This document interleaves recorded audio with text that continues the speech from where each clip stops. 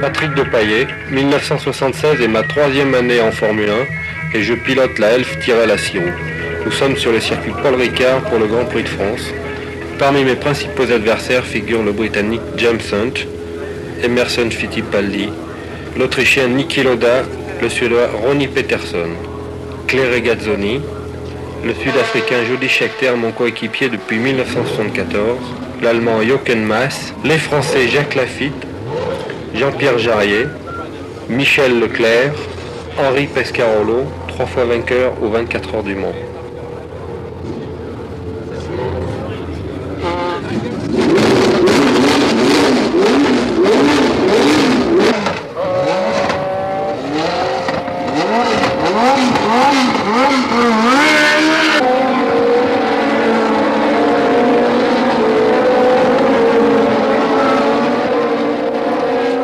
De la minute où les essais commencent, chaque instant compte parce que ce sont des essais qualificatifs. Chaque équipe chronomètre toutes les voitures en piste durant les essais.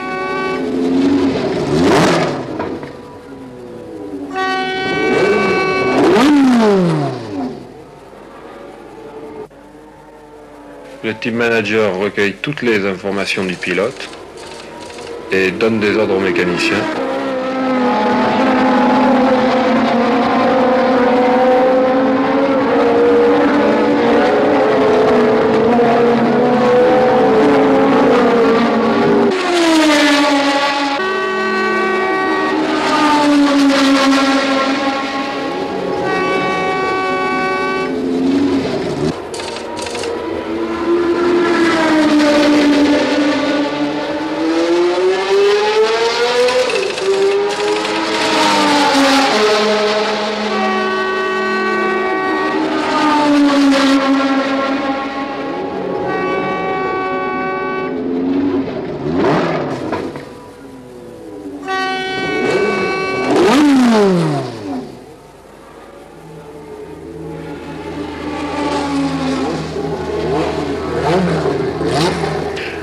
de chaque séance d'essai, je profite d'un moment de calme pour m'entretenir avec l'ingénieur Derek Gardner du comportement de la voiture.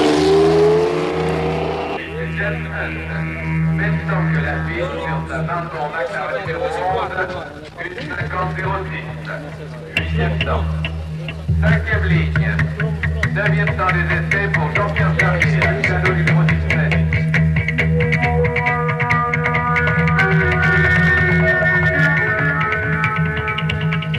Pour notre sécurité, nous nous équipons de vêtements inifugés, sous-vêtements, combinaisons, gants, cagoules. En cas d'incendie, la mise en route des extincteurs déclenche par ce tuyau une arrivée d'air dans le casque du pilote.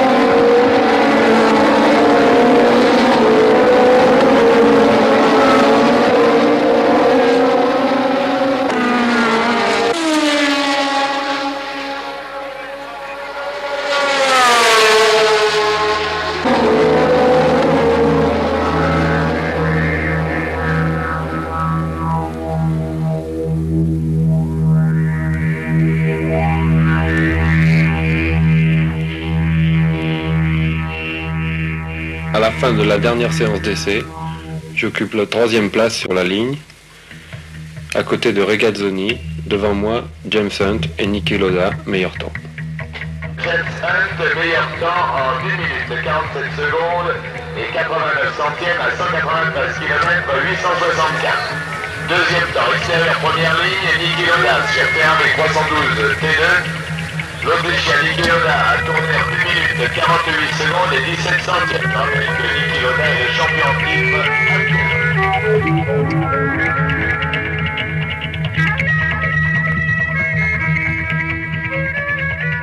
Dimanche matin, ultime vérification de la voiture avec le plein d'essence et les pneus pour la course.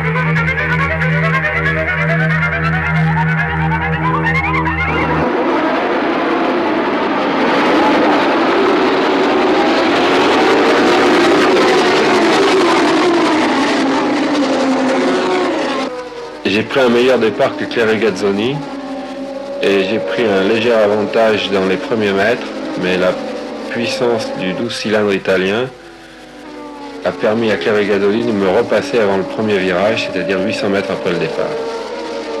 Et voici le premier tour emmené par Niki Loda en deuxième position, James Hunt à la troisième, le numéro 2 Regazzoni à la quatrième, Peterson, Depailler, Watson, le numéro 3 Johnny Scheckter, suivi par le numéro 26 et Jacques Larcy. Après le deuxième passage dans la ligne droite, Loda a déjà une confortable avance.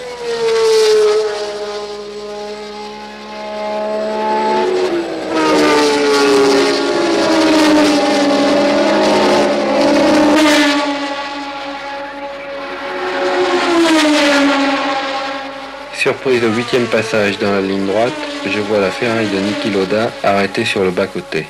Il a dû casser son moteur. Devant moi, toujours Peterson, précédé de Hunt et Regazzoni.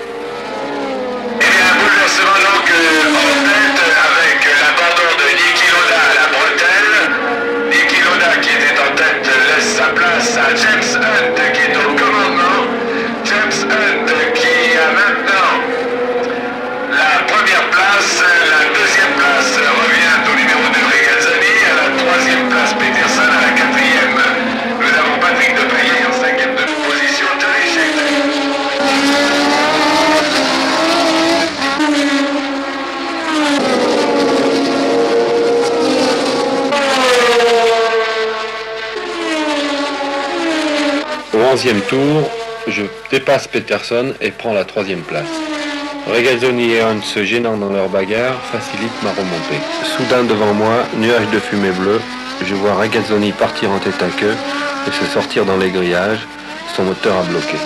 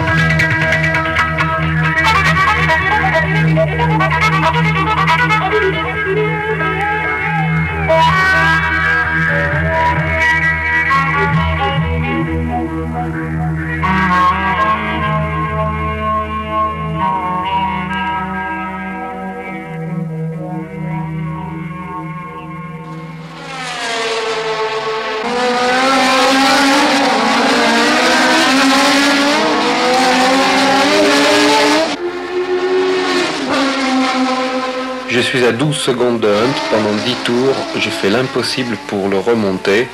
Je n'y parviens pas et à partir de ce moment-là, je me rends compte qu'il faut simplement essayer de maintenir ma position jusqu'à la fin de la course, c'est-à-dire économiser mes pneus afin de pouvoir répondre à une éventuelle attaque de mes poursuivants.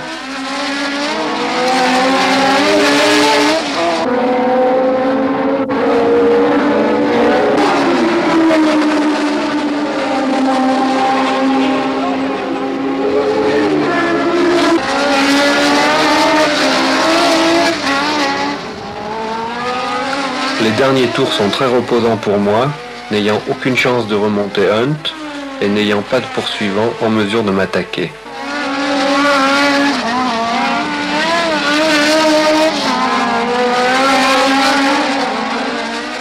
Sur la fin de la course, je ne pense qu'à finir ma thermos remplie d'eau glacée que j'avais installée dans ma voiture avant le départ à cause de la chaleur excessive qui régnait ce jour-là au circuit Paul Ricard. Je franchis donc la ligne d'arrivée en seconde position, à 12 secondes de Hunt et 11 secondes devant Watson.